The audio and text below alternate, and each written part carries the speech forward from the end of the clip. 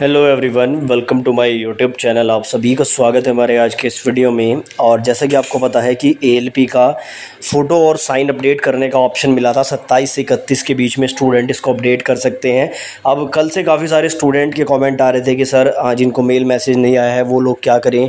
और काफ़ी सारे वो स्टूडेंट भी थे जिनको यही समझ में नहीं आ रहा था कि उनके पास मेल मैसेज क्यों आया है, उनके फ़ोटो में साइन में क्या प्रॉब्लम है। तो वो लास्ट वीडियो मैंने डिस्कस किया था, लेकिन अभी एक बड़ा अपडेट ये है कि रेलवे ने एक बहुत बड़ा शॉर्टकट लिया है। शॉर्टकट शॉर्टकट क्या है इस वीडियो में मैं आपको बताऊँगा और आपको भी सभी लोगों को चेक कर लेना है, जिनके पास भी मेल मैसेज आया था, उन सभी को स्पेशली चेक करना है। क्या चेक करना है इस वीडियो में आगे आपको बताऊँगा। बिना स्किप किए वीडियो को एंड तक ज़रूर देखें और चैनल पर नए हो तो चैनल को अभी सब्सक्राइब करके बेलाइकन को प्रेस कर लीजिए। दोस्तों, आज हम बात करने वाले हैं आरपीएफ कांस्टेबल की तैयारी करने के लिए सबसे बेस्ट बुक की, जो चक्षु प्रकाशन की तरफ़ से आती है। देखो, इस सिंगल बुक में आप लोगों को जनरल अवेयरनेस मैथमेटिक्स और रीजनिंग का पूरा कंटेंट देखने को मिल जाता है। 2500 से ज़्यादा एमसीक्यू क्वेश्चन विद सॉल्यूशन मिलते हैं, पाँच सॉल्व पेपर मिलते हैं और बीस प्रैक्टिस सेट भी आपको इस बुक में देखने को मिल जाते हैं। आरपीएफ का जो नया रिक्रूटमेंट आया है, उसके आधार पर इस बुक को तैयार किया गया है। क्वालिटी और क्वान्टिटी दोनों का बहुत बेहतर तरीके से ध्यान रखा गया है। उसके साथ ही चाहें तो आप लोग चक्षु प्रकाशन का कॉम्बो पैक भी ले सकते हैं, जिसमें आरपीएफ कांस्टेबल के साथ साथ रीजनिंग मैथमेटिक्स और रेलवे जर्नल अवेयरनेस की सेपरेट बुक मिलती है, जिसमें 6000 से ज़्यादा एमसीक्यू आपको देखने को मिल जाते हैं। इन सभी बुक्स को परचेज करने का डायरेक्ट लिंक डिस्क्रिप्शन में है, या फिर नज़दीकी बुक स्टोर से भी आप इनको परचेज कर सकते हैं।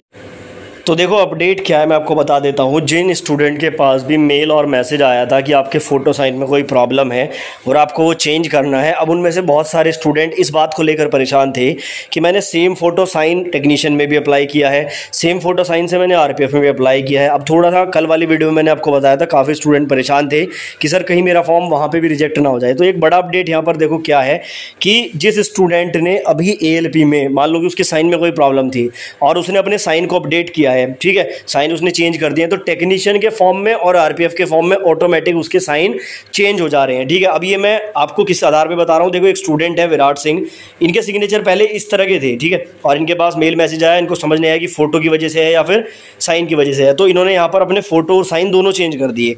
साइन ये देखो, यहाँ पर डिसजॉइंट लेटर में है, मैंने इनको यही बोला था कि आपके साइन डिसजॉइंट लेटर में है, इसलिए आपका फॉर्म में ये दिक्कत आ रही है। अब इन्होंने दूसरे जो साइन है, वो इस तरह से किए, ये डिसजॉइंट लेटर नहीं है। अब जैसे इन्होंने यहाँ पर ये ए में अपने साइन को अपडेट किया और जब उसके बाद इन्होंने लॉगिन करके टेक्नीशियन और आरपीएफ का अपना फॉर्म चेक किया तो वहाँ पर इनके साइन ऑटोमेटिक चेंज हो गए।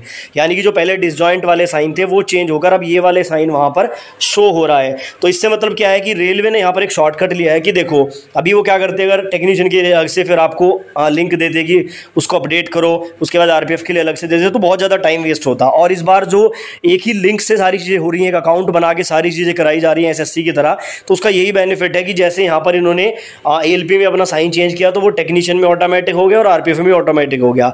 तो अब आरपीएफ और टेक्नीशियन में उनका फॉर्म रिजेक्ट नहीं होगा, ना ही रेलवे को ऐसा कोई लिंक देना पड़ेगा।